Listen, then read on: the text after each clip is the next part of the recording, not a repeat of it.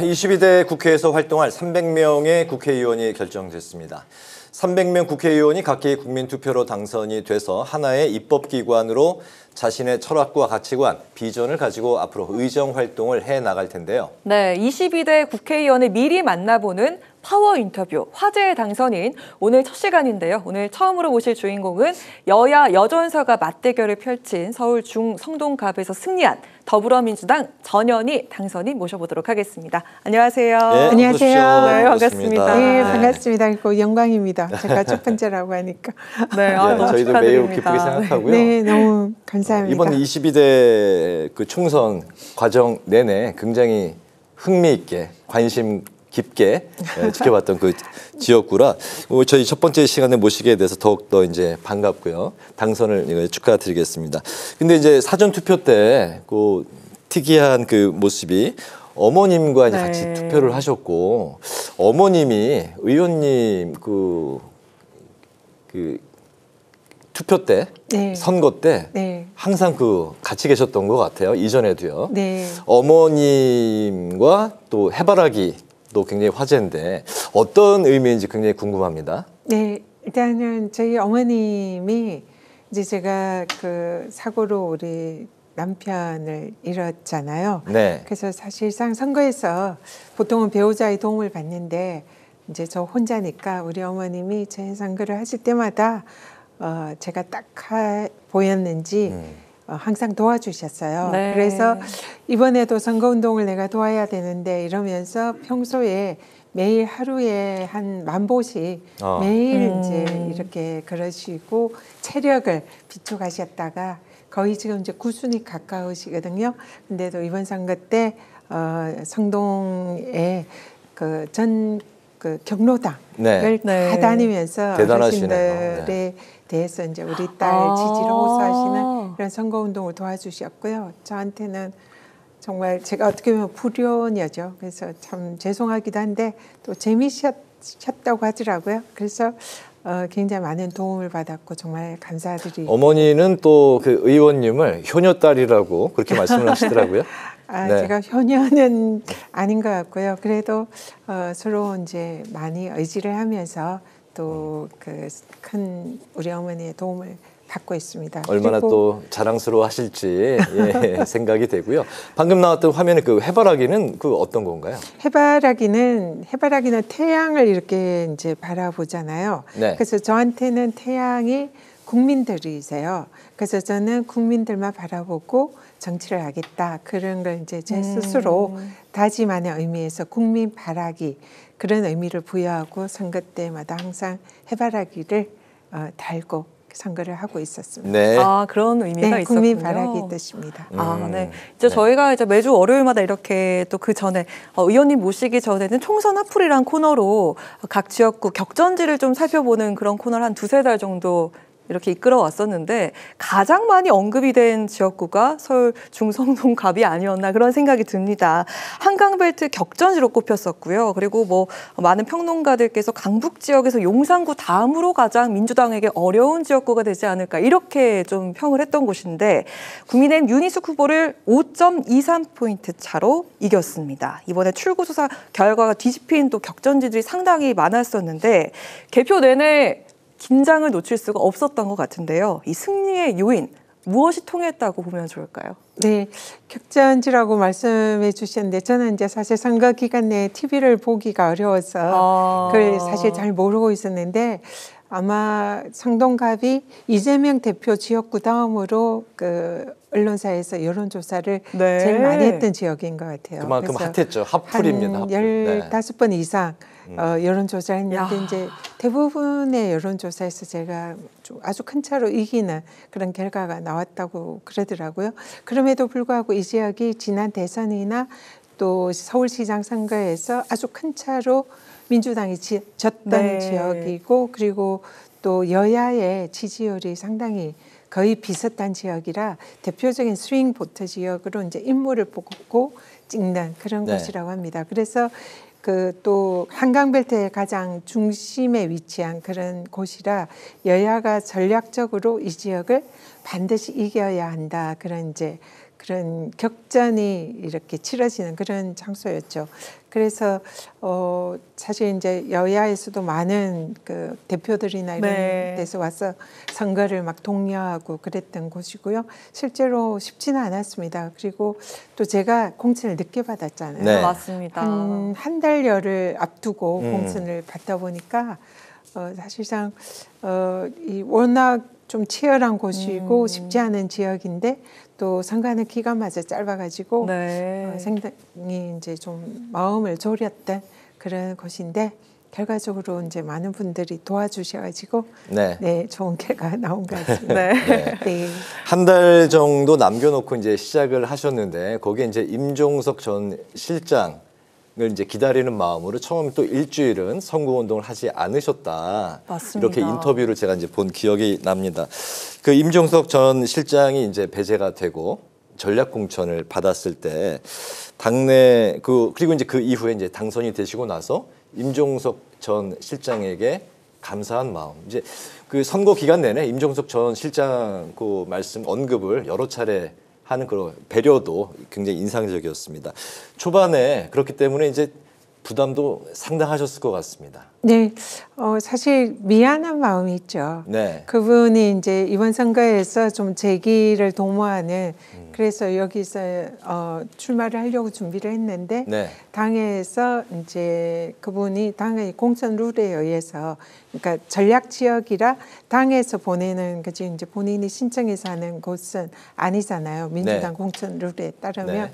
그래서 사실상 공천에 배제가 됐고 제가 어쨌든 여기에 전력 공천을 가면서 그분에게 인간적으로 이제 좀 미안한 마음이 있었죠. 음. 그리고 또 그분이 기존에 이제 성동 갑의 당원들과 함께 공조직을 통해서 선거운동을 하고 계셨는데 네. 제가 이제 갑자기 그 지역으로 가니까 이 기존의 인수인계? 공조직 네, 네. 이제 인수인계가 안 되는 거죠. 그리고 네, 네. 그 조직들도 마음을 어, 여는 시간도 예, 또 마음을 열기가 힘들었고 또 음. 임종석 실장에 대한 그런 이제 안타까운 마음이 있었고 네. 그러니까 제가 가니까 사실은 이제 저 혼자 등그란이 어떻게 보면 낯선 지역에 이렇게 딱 그 가게 된 거잖아요. 네. 그래서 가자마자 시간이 촉박하니까 선거 운동을 해야만 하지만 음. 어 사실은 제가 무리하게 선거 운동을 하면 그분들이 반감이 있을 것 같고 또 마음이 추스리기도 좀 힘든 네. 그런 상황일 것 같아서 일단은 마음을 먼저 열어주기를 기다리면서 한 일주일 정도를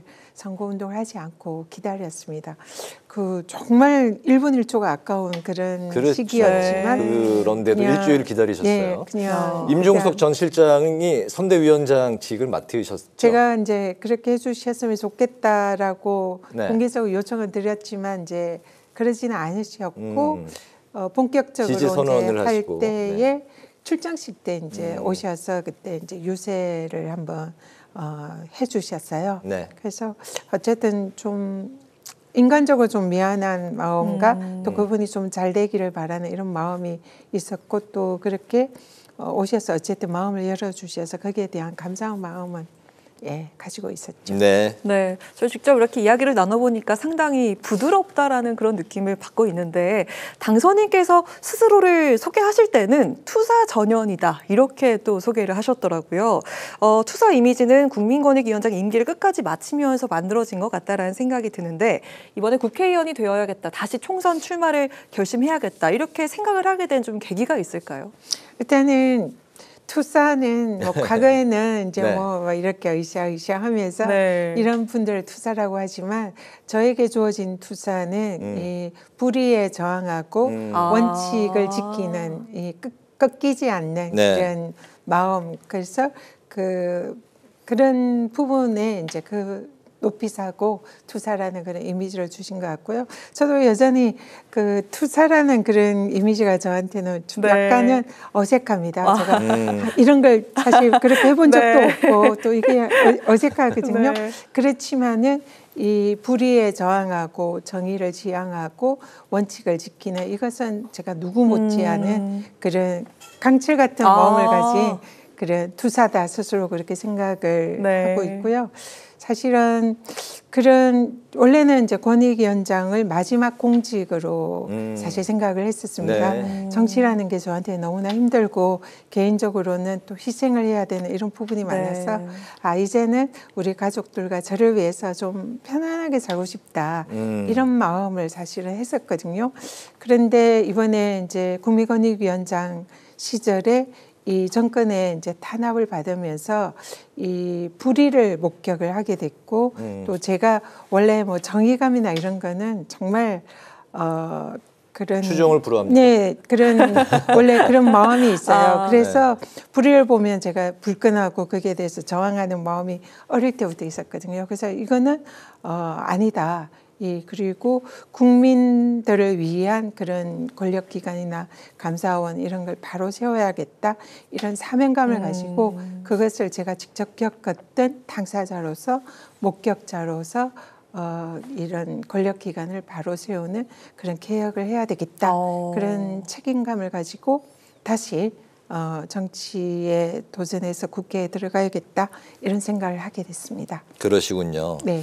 18대 비례, 20대 강남구 을 민주당한테는 네. 굉장히 좀 어려운 지역구. 24년 만에 민주당에게 이제 승리를 안겼던 그런 곳에서 이제 그 입성을 하셨고요. 이번에 이제 22대에 다시 또 이제 국회에 에, 이제 삼선 의원으로 입성을 하시게 됐습니다. 어, 경력이 또 특이하세요. 치과 의사에서 변호사, 최초로 치과 의사에서 최초로 사법 시험에 네. 합격한 예. 천재인가 아니가 아닌가 생각이 들 정도. 그러니까 하고 싶은 거는 만약에 마- 그 마음을 먹으면 어. 주변에서 보기에는 굉장히 부러운 그 다 할 수 있는 아니. 그런 분처럼 인식이 되기도 하는데요.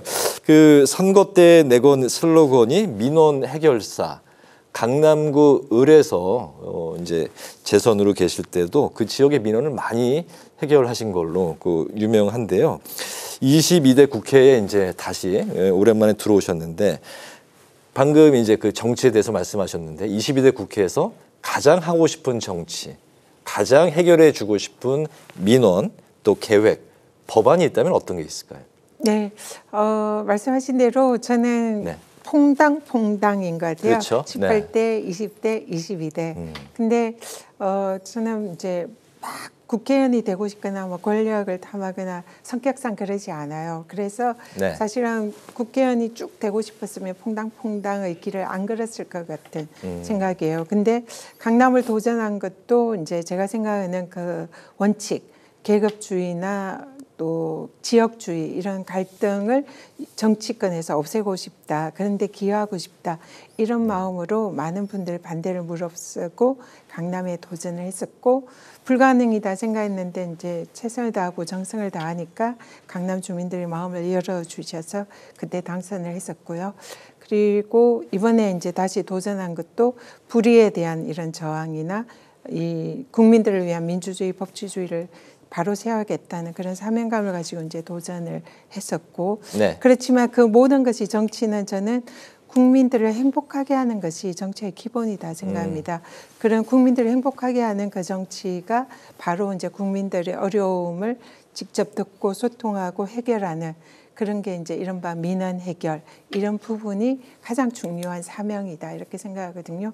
그래서 이번에 이제 제가 국민권익위원장이 대표적인 민원 해결 부처입니다. 네. 그래서 어, 전국 방방곡곡을 다니면서 뭐 70년 묵은 굵직한 이 정권의 이런 현안이라든지 지역 현안 이런 것들 많이 이제 해결을 했었거든요. 네. 그때 이제 제가 겪었던 경험과 성과 이런 걸 가지고 이번에 중성동갑에 선거운동 할 때도 제가 민원 해결사를 자처했고 네. 또 지역의 많은 민원을 해결하겠다고 약속도 드렸어요. 중성동갑은 현재 가장 시급한 게 좀 어떤 현안이 있다고 느끼셨어요? 성동갑에 이제 여러 가지 뭐 민원들은 다양하게 많지만 네. 교육 문제가 가장 또큰 교육이요. 현안인 것 같아요. 네.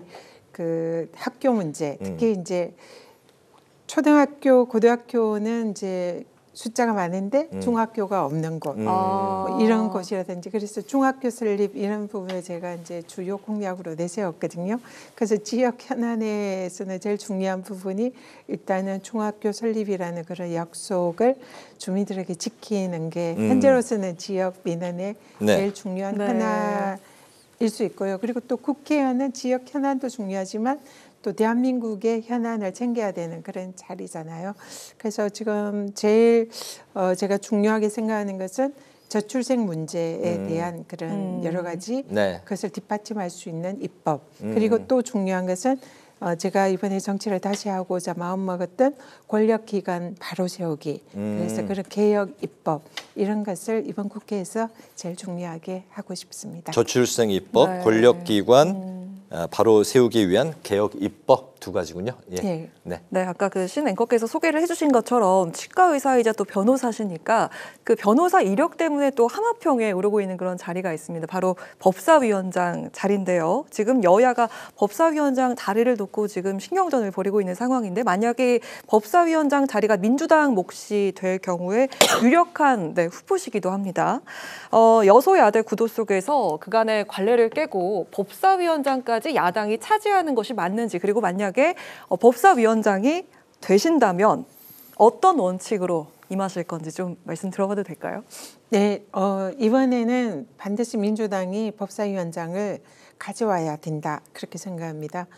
그 이유는 뭐냐면 어, 첫 번째는 대통령의 지금 현재 무소불위의 권한으로 행사하고 있는 2년 동안 그 입법 거부권 네. 네, 네. 아, 천천히 물 드시고 네, 네, 네. 천천히 이야기를 하시면 됩니다. 네. 거부권이 그동안 역대 대통령이 그 행사를 굉장히 자제를 하셨어요. 네. 물론 헌법상에 보장된 권한이긴 하는데 그 자제를 한 이유는 헌법상의 상권 분리 원칙 때문이었다 생각하거든요. 국회는 입법을 하고 행정부는 행정을 하고 사법은 사법을 하는 이런 상권 분리 원칙이 있어서 입법부의 입법권을 최대한 행정부는 존중하고 거기에 대해서 이제 그걸 실행하는 기관의 행정부인데 이번 정권 들어서는 입법부가 하는 이 입법 권한에 대해서 대통령의 거부권을 통해서 그걸 무력화시키고 또 집권 여당은 법사위원장을 통해서 야당이 하는 여러 가지 민생 법안이나 개혁 법안을 대부분 발목을 잡거나 뭐 법사위에 올리지 않아 가지고 통과가 안 되게 하는 이런 행태를 보였거든요. 그런데 이것은 사실상 입법부를 형해하고 무력화시키는 그래서 헌법상의 삼법 상권 분립이라는 이런 헌법 원칙이 무너지는 그런 일이라고 생각합니다. 그래서 어, 지금 같이 대통령이 입법부를 무시하고 거부권을 계속 행사하는 이 기조가 바뀌지 않는다면 입법권에 대한 그 세우 바로 세우기 위한 그리고 헌법상의 삼권 분립 원칙을 지키기 위해서도 야당이 어, 법사위원장을 가져오는 게 맞고요. 그래서 대통령의 거부권을 견제를 해야 되고 또 이번 총선에 나타난 민의 민심은 일단은 야당에게 힘을 실어주면서 대통령에 대한 정권 심판의 의지를 국민들 보여주신 거거든요. 그리고 야당이 입법부를 통해서 그런 권한을 행사하라는 게 이거는 총선의 민의이기 때문에 국회는 국민의 대리인이라고 하잖아요. 그래서 국회가 그런 역할을 해야 되고 그 역할의 중심에 야당이 있기 때문에 반드시 법사위는 민주당이 가져오는 것이 그게 국민의 뜻이다 이렇게 생각을 합니다. 네. 알겠습니다. 민주당이 이제 법사위원장 그렇게 가져와야 된다 당위성을 말씀하셨는데 이제 그 우리 그 전현희 당선인께서 법사위원장을 하면 어떤 일을 가장 좀 하고 싶은 그 법안과 뭐 그 또 그런 게 있을까요? 지금 그러니까 어, 제 개인적인 법안보다도 네. 민주당이 국민들의 뜻에 따라서 이렇게 하는 민생 법안이라든지 개혁 법안이 순조롭게 이렇게 법사를 통해서 국회 본회의에 통과될 수 있도록 그런 역할을 하는 것이 제일 중요한 역할이고요. 또 하나는 이번에 이제 뭐 최상병 특검이라든지 네. 지금 대통령과 윤석열 정권에 대한 어, 뭐 이태원 특검이라든지 또 양평 고속도로나 김건희 여사 특검 또 또 대장동 특검 이런 어, 국민들의 심판의 의지와 맞닿아 있는 이런 특검에 대한 그런 이제 통과, 국회 네. 통과 이런 부분에 대해서도 중요한 역할을 해야 되고 제 개인적으로는 이 권력기관, 검찰과 감사원 등에 대한 권력기관이 이 그 독립성과 중립성을 지킬 수 있는 그런 제도적 장치를 마련하는 입법 이런 부분을 어, 제 개인적으로는 꼭 필요하다 이런 생각입니다. 네, 이번 주 정치권의 이제 최대 관심사는 아무래도 대통령과 이재명 대표 간의 만남, 영수 회담일 것 같습니다. 그 자리에서 이제 어떤 이야기들이 의제로 올라올 것인가 또 이제 관심사인데 의원님께서 이제 방금 말씀하신 그런 최상병 특검, 김건희 여사 특검 또 총리 후임 인선에 대해서 대통령이 이제 뭐 생각을 두고 있는 이제 후보를 좀 이제 당부의 이야기를 할 것인지 아니면 이재명 대표가 먼저 후보를 좀 이야기를 할 것인지 여러 가지 이야기들이 나오고 있는데 이번 영수회담에서 어떤 이야기들이 최우선적으로 또 어떤 분위기에서 이루어져야 된다 생각하시는 게 있으실까요?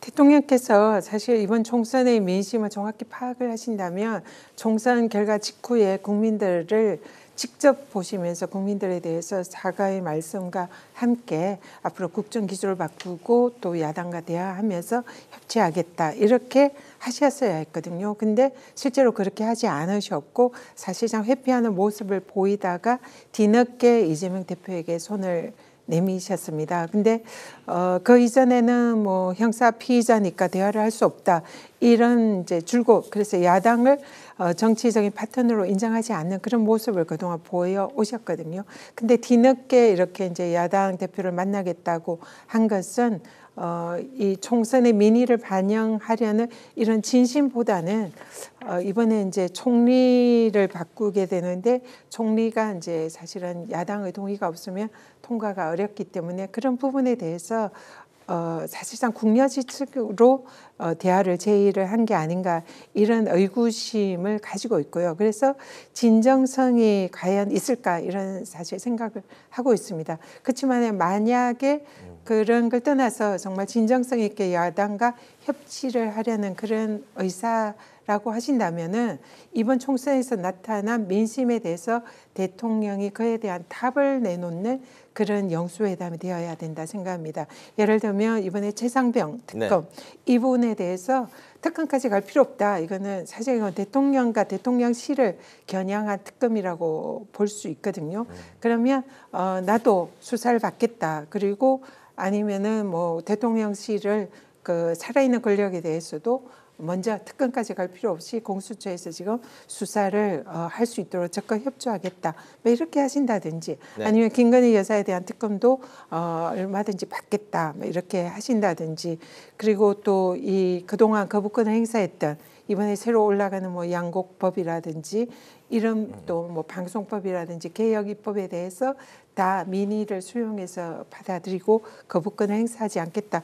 이런 말씀을 하셔야 대통령이 이 총선에 대해서 민심을 이제 받드는 그런 모습이다 보이고요. 무엇보다도 이번 총선에 민주당이 이제 우리 이재명 대표와 민주당이 이제 공약으로 내세웠던 민생 회복 지원금 음. 국민들에게 네. 이제 지금 지급하는 이런 부분에 대해서 열린 마음으로 이제 수용을 하는 그런 의사 표시를 하시는 게 맞지 않을까 이런 생각이고 총리 부분에 대해서는 사실은 만약에 정말 진정성이 있다면 미리 총리에 대해서 야당과 협치 의사가 있다면 협의를 하고 야당이 동의할 수 있는 그런 인사에 대해서 어 그렇게 이제 하마평을 하는 게 맞는데 그동안 일방적으로 제시를 하셨고 야당 인사에 대해서는 오히려 어떻게 보면 어 우리가 공격으로 받아들여질 정도로 일방적으로 야당 인사를 빼가면서 갈라치기 하는 그런 형식으로 네. 어, 언론에 흘리셨거든요. 그래서 그런 부분에 대해서 대통령이 아직 바뀌신 건 아닌 것 같다. 근데 정말 바뀌었다고 인정하시려면 그런 이제 야당과 국민들에게 총선 민의를 어, 수용하는 그런 어, 영수회담이 되셨으면 합니다. 네. 네, 어느덧 저희 준비한 마지막 질문 시간인데요. 어, 이번 총선 참 민심은 절묘한 선택을 했습니다. 야당은 압승을 했는데 탄핵이 가능한 200석은 주지 않았고 격전지에서의 뼈아픈 패배들도 있습니다. 무엇보다 더 이상 대결의 정치는 보고 싶지 않다는 게 우리 민심인 것 같은데요. 22대 국회를 앞두고 윤 대통령과 여당에게 바라는 것 그리고 제1야당으로서 민주당의 다짐 그리고 당선인께서의 다짐 한번 들어보도록 하겠습니다. 네, 저는 이번 총선이 그 200석을 민주당이 주지 않은 것은 일단은 200석에 가까운 의석을 준 것은 윤석열 정권의 심판 그리고 정책 기조를 바꿔라 이런 국민들의 명령이다 이렇게 생각하고요. 그럼에도 불구하고 200석을 주지 않은 것은 뭐 야당에 대한 거대 야당에 대한 견제의 의미도 있고 동시에 윤석열 대통령에게 마지막 기회를 줘서 정책 기조를 바꿔서 국민들의 민심에 따르는 그런 대통령이 되시라 이런 여러 가지 의미를 포함하고 있다 이렇게 생각을 합니다. 그리고 또 집권 여당이나 윤석열 대통령 그런 국민들의 뜻에 부응하는 그런 정책 기조나 또 국회 운영을 하시는 것이 국민의 뜻이다 생각하고요. 또 야당의 입장에서는 어 이 그 자만하지 말고 또 국민들의 뜻에 따르면서도 정권을 견제하는 그런 역할을 하라는 게 국민의 명령이다 생각합니다. 그래서 가장 제가 중요하게 생각하는 것은 사실은 여당도 그렇지만 야당도 민생이다 생각을 합니다. 민생 지금 국민들이 다 먹고 살기 힘들다. 어, 이렇게 어려운 때는 처음이다 이렇게 말씀하시거든요. 네. 그래서 여야가 힘을 모아서 정말 국민들을 위한 민생을 챙기는 그런 국회가 되는 것이 가장 우선이다 생각하고요. 그리고 또 하나 이제 야당에게 주어진 임무는 개혁, 이 국민들의 그 정권 심판 열기에 따른 그런 개혁 그리고 이제 제가 생각하는 어, 권력 기관을 어, 민주주의와 법치주의를 바로 세우는 그런 개혁을 하는 것이 어, 저에게 맡겨진 중요도 사명이다 이렇게 생각하고요.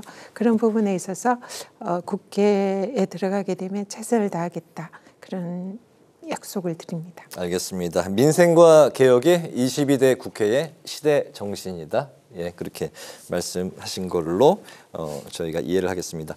22대 총선 화제의 당선인을 만나보는 파워 인터뷰. 오늘은 서울 중성동갑에서 당선된 더불어민주당의 효녀 아, 외유 내강 전현희 당선인을 모시고 말씀을 들어봤습니다. 22대 국회에서도 활동을 저희가 관심 깊게 네. 지켜보도록 하겠습니다. 말씀 잘 들었습니다. 고맙습니다. 감사합니다. 네, 고맙습니다.